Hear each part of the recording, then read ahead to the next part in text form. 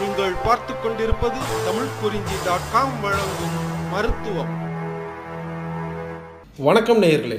தமிழ் மருத்துவம் நிகழ்ச்சியில் நாம் இன்னைக்கு பார்க்க போகிறது தோப்பு கர்ணம் போடுவதால் கிடைக்கக்கூடிய பயன்கள் பற்றி. அந்த காலத்தில் நாம் பள்ளிக்கூடத்தில் படிக்கும்போது சேட்டை பண்ணினாலோ தேர்வில் தோல்வி அடைந்தாலோ ஆசிரியர் தோப்பு கர்ணம் போட சொல்லுவார்.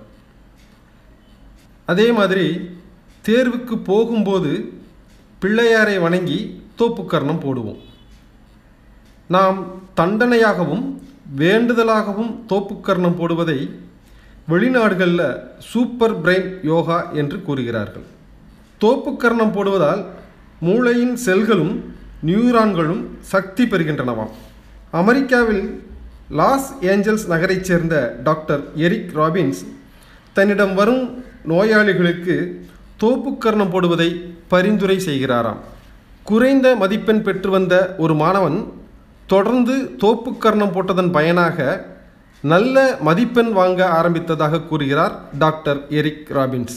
தோப்புக்கர்ணம் போடுவதால் அக்குப்பஞ்சர் புள்ளிகள் தூண்டப்பட்டு மூளையின் நரம்பு மண்டலங்களில் சக்தி வாய்ந்த மாற்றங்கள் ஏற்படுகிறதாம். ஆட்டிசம் போன்ற நோய்களால் பாதிக்கப்பட்டவர்கள் தோப்புக்கர்ணம் போடுவதால் நல்ல பலன் கிடைக்கிறதாம்.